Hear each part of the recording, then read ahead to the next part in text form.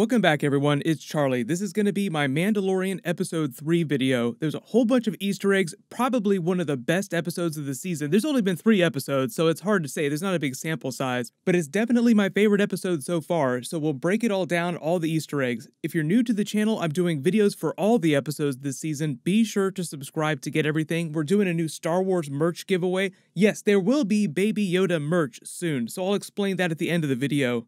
Careful for spoilers from the episode. If you haven't seen it yet, obviously, we'll do top 10 WTF and Easter eggs as we go along. Starting with number 10, the title of the episode is The Sin. It's a reference to a couple different storylines during the episode, to the Mandalorian's sin of initially leaving Baby Yoda, this helpless creature, with the Imperials in exchange for this giant fortune in Beskar. It's also a reference to his sin against the code of the Bounty Hunters Guild when he reneges on that agreement to save Baby Yoda later in the episode, because now he's the most wanted man in the sector, along with Baby Yoda. Think about it this way if they activated all those tracking fobs at the end of the episode, it's only going to get worse for him through the rest of the season while he's on the run, trying to protect Baby Yoda. But right after they come out of hyperspace, Baby Yoda jumps out of his bassinet and grabs the ball on top of what looks like the hyperspace lever that's very similar to the hyperspace lever on the Millennium Falcon, just to play with it, stick it in his mouth. They carry that moment forward when the Mandalorian goes to activate the lever later and sees that the ball is still missing, reminding him of the kid before he goes back to save him, and then again at the end of the episode when they pay it off, when he detaches the ball himself and gives it back to Baby Yoda to play with. Number 9, turning over the kid and collecting his fortune. So the surface of the planet actually looks really harsh. All those red lines give it a very Mustafar feel, like the planet's surface is very, very harsh. Although I'm pretty sure this is not Mustafar. The actual Mustafar planet is way more red overall in color. The look of the kid's face as they're walking through the shipyards and the streets seems like he's never been around so many people and aliens in a city like this before, and he's having this tiny little panic attack while he's just not sure what to make of everything. They pass the same street food vendor cooking salacious crumbs on his spit. You see way more different classic aliens. You see a Twi'lek for the first time that they later reference when they say Twi'lek bathhouses when Greef Karga is telling him, hey, let's go to the spa, it'll be a great time, making it sound like it's more of a brothel than an actual spa. There's an R5 looking droid that's colored similarly to the R5 droid the Jawas tried to sell to Owen and Beru Lars and Luke Skywalker during A New Hope, that later comes back at the end of the episode when it's trying to take them to the shipyards before it gets blown up by Greef Karga.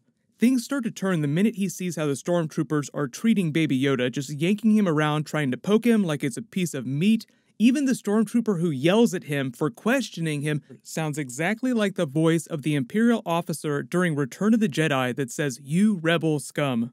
I wouldn't be surprised if they actually did try to sample that voice from the original trilogy because they do that a lot with audio Easter eggs, and it's one of the most iconic Imperial lines from that movie that people repeat. As Dr. Pershing and Werner Herzog's characters scan the baby and get really excited, they give him his bounty in Beskar, but when he pulls it out, it's the actual ice cream maker Star Wars Easter egg from Empire Strikes Back. If you didn't spot it or you're relatively new to the original trilogy movies, when they're in Cloud City and things start to go crazy, you see this character running in the background with what looks like a giant ice cream maker as fans dubbed it. People just started calling it the Star Wars ice cream maker. Jon Favreau brought it back for this series. During Empire Strikes Back, nobody knew what it was for, but on this series, Jon Favreau has turned it into sort of a portable lockbox for valuables. As he starts to question their intentions, things start to get ugly. Werner Herzog's character questions his code, quote unquote, of honor as a bounty hunter. Isn't this against the code of your guild? He also reminds him that most of his people, the other Mandalorians, were killed during the Purge, implying that he might join them if he doesn't get out quickly. So, number 8, the Mandalorian Enclave, their codes, his new armor, and the signets. Mandalorians have their own code about right and wrong that's way more important to them than any local laws or any of the laws of other organizations like the Bounty Hunters Guild. This is the way is the line of dialogue that they repeat to each other throughout the episode, and then again at the end of the episode, this is the way. But he gets his shiny new Beskar armor, so everybody kind of hates him because he looks so awesome now. The other Mandalorians are really excited to see what's going on. They're really curious, but also really upset when they see the Imperial signets on the bars. These bars were stolen during the Purge. He gets the special new Whistling Bird's weapon for his gauntlet. He used a bunch of cool weapons during the episode, but it's just guided Beskar darts that detonate on impact. They show you a ton more flashbacks to the Clone Wars around Episode 2 Attack of the Clones. You finally see the larger battle droids in the droid gunship flying overhead, so it's just implying that this was happening during the Clone Wars, and you finally find out why he hates droids so much in present day because the battle droids killed his parents. But number seven, when the other Mandalorians get pissed at him for working with the Imperials and the idea that they're just reclaiming Beskar that was stolen from them during the Purge, the Mandalorian in the heavy infantryman armor that starts to fight with him is actually voiced by Jon Favreau himself. If you ever watched any of the Clone Wars, you probably remember that Jon Favreau played the Pre Vizsla Mandalorian character, one of the most important and powerful Mandalorians around that era. His family descended from the very first Mandalorian to become a Jedi, and that Mandalorian created a dark saber thousands of years ago. Many years later, after he passed away, Pre Vizsla's family stole the dark saber back from the Jedi Temple and used it as a symbol to rally the Mandalorian clans together after they'd been scattered for years after the Great Sith War with the Jedi. The dark saber is still around in Star Wars canon. The last time it was seen was on Star Wars Rebels before the events of A New Hope, being wielded by Bo-Katan Kryze, one of the last known leaders of the Mandalorian people, but as they imply several times through the series, under Imperial rule, their people were also purged, kind of like the Jedi were during Order 66, and the clans have just scattered to the four corners of the galaxy but the signet that they offer him for his armor is for the Mudhorn. You're allowed to wear the signet of whatever you defeat in combat on your armor, but he foregoes it per the terms of their codes of honor because Baby Yoda helped him defeat it, which they sort of incorporate with his arc during the episode about saving the kid, turning the kid over, then changing his mind because he says, My enemy helped me defeat it, so I'm not allowed to take credit for the kill. My enemy did not know he was my enemy when he was helping me. He's talking about Baby Yoda at this point is still his enemy because he was part of the bounty, but obviously he changes his mind at the end of the episode, per the Mandalorian's code of honor. Number 6, all the other bounty hunters of the guild hate him. He almost takes off to the other side of the galaxy just to avoid having to think about what he just did, turning the kid over. When he gave him the bounty for the Mon Calamari, saying it's a nobleman's son who skipped bail, all I could think about was that Admiral Ackbar's son has turned into a criminal, but I think this is just some sort of random member of his race, some new character. I believe that Admiral Ackbar's son does show up during the new Star Wars trilogy, although Admiral Ackbar himself was just killed off in the last movie. So during this show, he's technically still an admiral because this is right after Return of the Jedi in the New Republic's fleet. They also finally reference the actual New Republic, but mostly the Mandalorians saying that it's a joke to think that they would care what the Imperials or the remnants of the Empire are doing this far out on a backwater Outer Rim territory. It's funny to think that people hated the Empire because they were so terrible, but they also kind of hate the New Republic because they think that the government still doesn't care about them, even though it's a completely different group of people. Number 5, he decides to rescue Baby Yoda, so he listens in to Werner Herzog and Dr. Pershing talking about the kid after he finds the bassinet in the trash outside the office. Werner Herzog is arguing that he won't be able to protect the doctor much longer and to hurry up and get his sample and be done with it. Which we later learn is code for kill the kid after you get your sample of his DNA. Like Dr. Pershing says, he'd be dead now if it weren't for me. More on that in a second because Dr. Pershing survives at the end of the episode, so he's definitely coming back. But watching the Mandalorians mow through the stormtroopers like a Terminator was totally badass. One of my favorite sequences through the episode so far. It's like Darth Vader at the end of Rogue One. You know exactly what's going to happen. He's just going to mow through all those rebels with his lightsaber. Him going around room to room also kind of reminded me of Star Wars Dark Forces, that old first person shooter made in the style of Doom or Wolfenstein 3D. That was such a great game back in the day. In major bonus points for creative use of grappling hook, he had a lot of really creative kills during these scenes. He's also been a big fan of his gauntlet flamethrower, which he uses to barbecue one of the stormtroopers. I think he's used it in every single episode so far. But number 4, Dr. Pershing in The Kid. There's an Imperial interrogation droid in the background, just like the one from Star Wars A New Hope when Darth Vader was interrogating Leia in her cell. And just like that scene, they zoom in on the needle. But you also wonder if he was using this on Baby Yoda somehow. How do you interrogate a baby that can barely speak?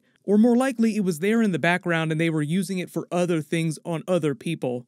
Dr. Pershing mistakenly thinks he's there to kill the kid, which lets you know that even though he's working with the Empire on some sinister cloning project, he's not a total monster. He cares about the well being of the kid, so maybe he will also turn later in the series and actually try to help the Mandalorian protect Baby Yoda.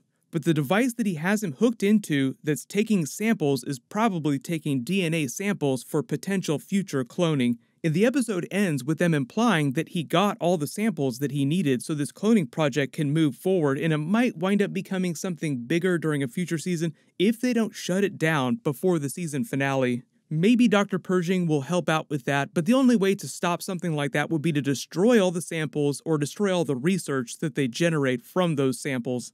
Number three was the scene of them activating all those fobs and the bounty hunters from the guild coming after him again. I love this slow scene of the cantina with the bounty hunters realizing what's happening. Oh, wait a minute, the bounty's back on.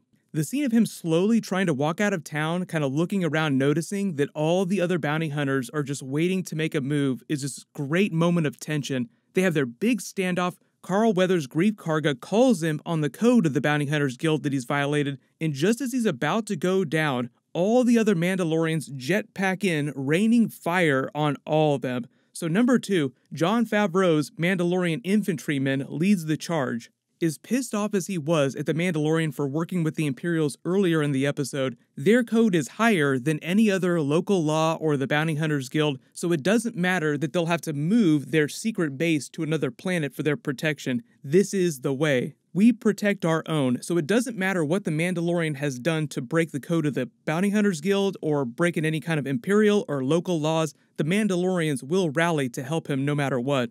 You get a sense for all the different types of technology that they use. Almost all of them, besides the Mando himself, have jetpacks. They sort of pay that off at the end of the episode with the funny moment. I gotta get myself one of these. As Jon Favreau's Mandalorian jetpacks up alongside his ship, salutes him, and then goes back down to the planet even though this was a huge scene, a huge moment of them all coming together and fighting, and it was probably really expensive to film, I'm hoping that we get something even bigger like this later in the season where more Mandalorians rally to help him.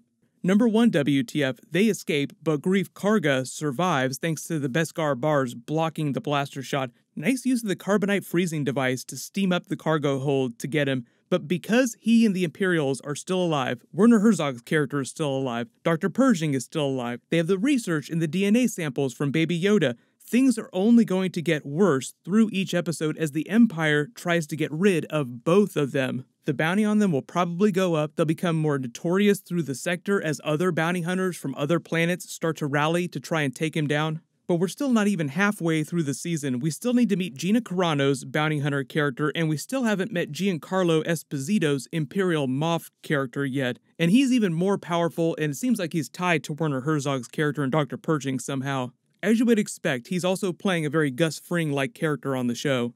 But let me know if you spotted any big Easter eggs in the episode that I didn't mention in my video. Obviously, my episode 5 video will post next week. I'll do more bonus videos for The Mandalorian during this week too, so if you have any special requests or big questions you want me to answer, just let me know in the comments. For those of you asking about merch, they did say they would start selling Baby Yoda merch really soon, so the giveaways will probably be something for that stuff once they announce what the actual merch is going to be. But everyone click here for my new Baby Yoda in Jedi History video and click here for my Mandalorian Episode 2 video. Thank you so much for watching. Everybody stay awesome. I'll see you guys tonight.